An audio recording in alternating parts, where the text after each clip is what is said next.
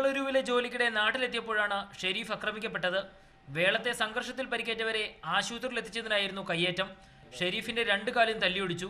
C P M പ്രവർത്തകരാണ് ആക്രമിച്ചതെന്ന് ഷെരീഫ് പറഞ്ഞു. Government ഹോസ്പിറ്റലിൽ കയറി കാഷ്വാലിറ്റീന്റെ അടുത്തെത്തുമ്പോഴേക്കും ഒരു പത്തറുപത് ആൾ വന്നിട്ട് ഞങ്ങൾ വണ്ടി തടഞ്ഞു നിർത്തി. ഞങ്ങൾ എവിടെ നിന്നാണ് വരുന്നതെന്ന് വെച്ചാൽ ഞങ്ങൾ നിന്നാണ് എന്റെ പേര് ചോദിച്ചു. വഹാബിന്റെ പേരും രണ്ടാളുടെ പേരും പറഞ്ഞു.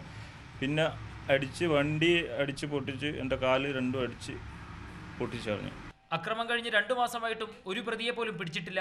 ഷെരീഫിനെ ആക്രമിച്ചതും ഇന്നോവ കാർ തകർത്തതും വടകര പോലീസിന്റെ മുന്നിൽ വെച്ചാണ്. വടകര ആശുപത്രിയിലെ കാഷ്വാലിറ്റിയിൽ വെച്ച് ആക്രമിക്കപ്പെട്ട ഷെരീഫിനെ പക്ഷേ പോലീസ് മറ്റൊരു സ്വകാര്യ ആശുപത്രിയിൽ എത്തിച്ചു. സ്ഥിതി വഷളായപ്പോൾ പിന്നീട് കോഴിക്കോട്ടേക്ക് മാറ്റി.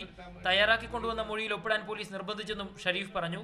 വടകരയിൽ പോലീസ് സ്റ്റേഷനുകൾ party ഓഫീസായെന്ന് Kuttiadi M L A Parakkal Abdulla ആരോപിച്ചു. രണ്ട് വർഷമായി ഇവിടെ പോലീസ് പൂർണമായും അക്രമകാരികൾക്ക് കൂട്ടുനിൽക്കുക. ഈ വിഷയം മാത്രമല്ല ഏത് പ്രശ്നം വന്നാലും സി പി എം അടിച്ച് കാൽ പൊട്ടിക്കുക അടിച്ച് വണ്ടി പൊട്ടിക്കുക അടിച്ച് വീട് തകർക്കുക ഇതിനൊന്നും കേസെടുക്കാത്ത നിരവധി സംഭവങ്ങൾ. ആൾക്കൂട്ടം കാട്ടുനീതി നടപ്പാക്കുമ്പോൾ രക്തസാക്ഷിയെ ജീവിക്കുകയാണ് ഷെരീഫ്.